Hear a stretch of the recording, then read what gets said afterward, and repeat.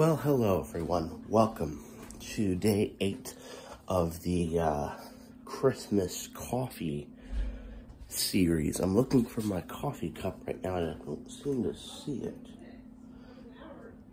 Interesting. Well, anyway, um, let me pop open, I guess, a new mug, perhaps my Star Wars mug for today's blend,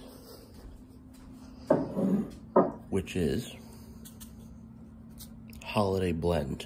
I mean, you know, they're they're kind of right on the nose with that one, ladies and gentlemen. So we're gonna go ahead and fill up the water here. And then we're gonna go ahead and pop it in as usual. Let's see how good this coffee is, and I will get back to you when that is when it is ready. Well, everyone, uh, the coffee has been brewed and is ready to go.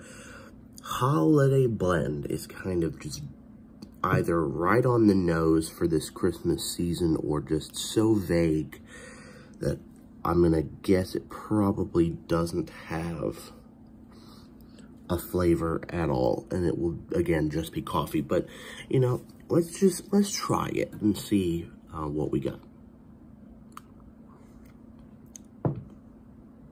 Coffee. Yep.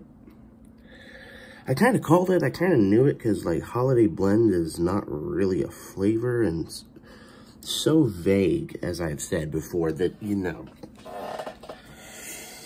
what is holiday blend? Like, what is that? Who knows? But whatever it is, not strong enough for just coffee. So, I mean, it's coffee. I'll drink, it's good coffee. I'll drink it. But, nothing too Christmassy, which, to be expected eight days in, you're not quite, you know, full Christmas. But, flavors before this have been better. So, wow. Anyway, you know, who knows? Maybe tomorrow. Maybe tomorrow.